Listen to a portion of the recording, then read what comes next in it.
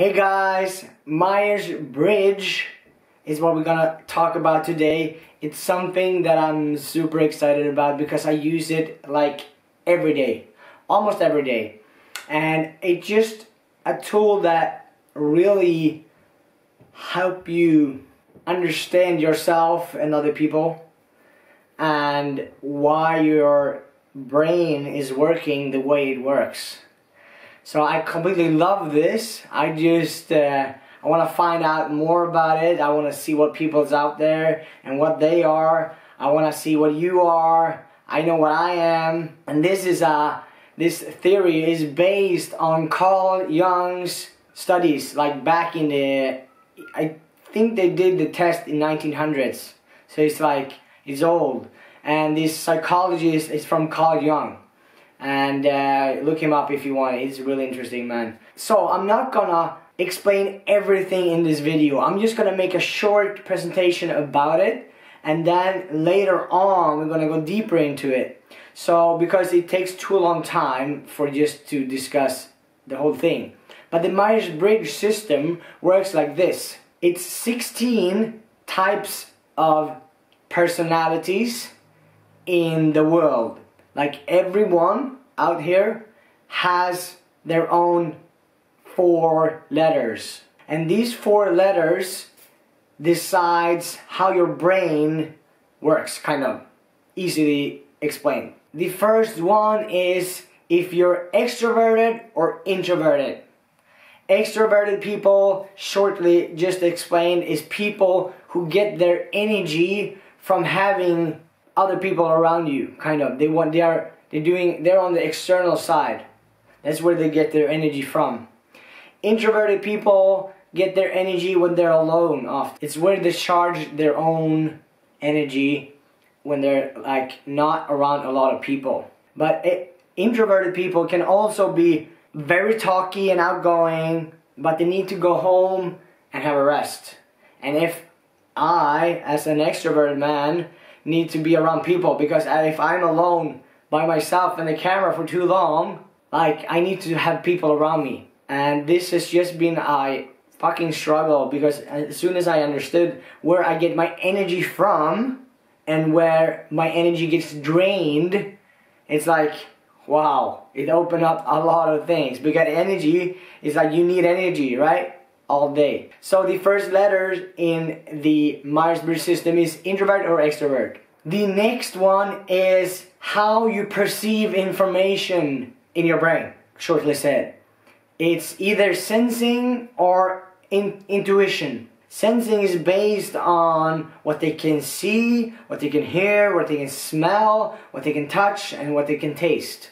So these five senses is what they're basing their information on and the intuition people it's like me is going on on the inside. And we have the intuition people just like me have like ideas visions and stuff. We can see big pictures possibilities in the future where we're supposed to go. And like have this big picture of stuff and like dream really big. And we're not we're not we're not basing this on uh, our senses so we go with our intu intuition, what it tells us to, what our heart is guiding us, and where we wanna, we dream like really big. For example, my my my brain just keeps. If I cannot dream really big and have a big vision for the future, like I, I'm out. I'm bored, and I was like, no, I don't want to do this. I want to really have something larger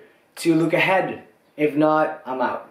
So the next one is how you make decisions in life. And there's the thinker and it's a feeling. The thinker, like me, we analytically think over what can happen and, and really what like we think all the time. It's just in our head. That's the negative thing. Like you're always in your head and if you're in your head you're dead. So you need to get out of the head and into your heart.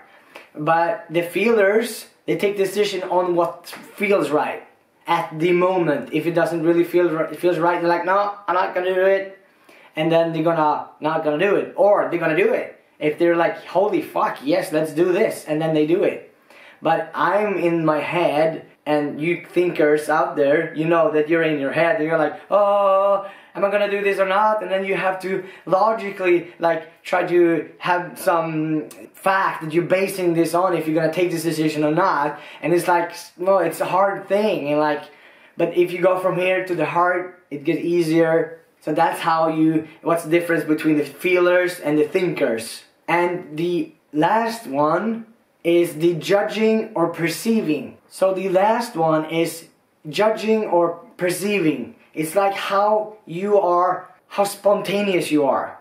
The judgers, they really want to have structure and deadlines and timelines and all this stuff, and then just they, they can push through with that. Like, tell me I'm gonna do this next week, and then like boom, they're on it, kind of. And me as a P, as a perceiver, I just do stuff like spontaneously. I just like, oh, let's do it now. Let's do go there. Let's do that. And like this really shows up in my life anyway when you're like a P, the perceiver, because I just do spontaneous things and I fucking love it. And deadlines, well, it's good with deadlines, but I mm, kind of don't really want to follow them. It's it, I need to do it sometimes, but it's kind of it's harder for me. It's I like it better when I just can spontaneously do something you just execute it right now and like straight away. So if you are recognizing yourself as a deadline person, a structured person, you're probably a, a G as a judging. Or if you're just spontaneous and just want to do stuff like randomly, uh, you're a P, like me, kind of. So, and you get these four letters and you make a test, it's online, I can link it in below, and you will answer as you are, not as you want to be. Answer it and then just go through the questions and then you will see what you are and then you can read the description afterwards. And if you read it and you're like holy fuck this is how did he know this? Then it's right. But if there's something inside there that said oh ah, no this is not really me there's like no that's not me you have answered incorrectly.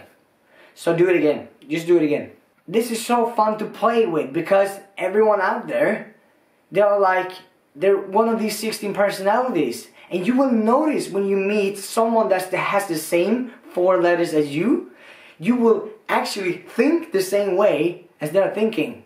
Like I'm 31 and I, I like this year was the first year that I knew that I met someone that was just like me. And when we knew that, I was like, holy fuck, we clicked like this. And we were like, it was crazy. So it's really funny if you get to know what you are and then you meet someone else and you click really well probably that person is somewhere close to your four letters or like something really close to it. Like not maybe the same as you, but close to it.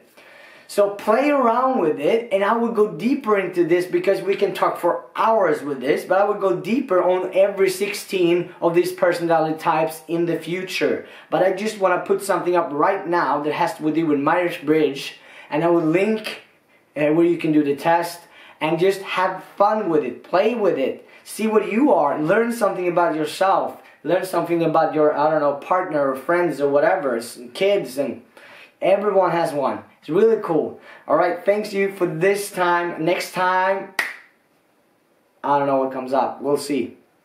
See ya.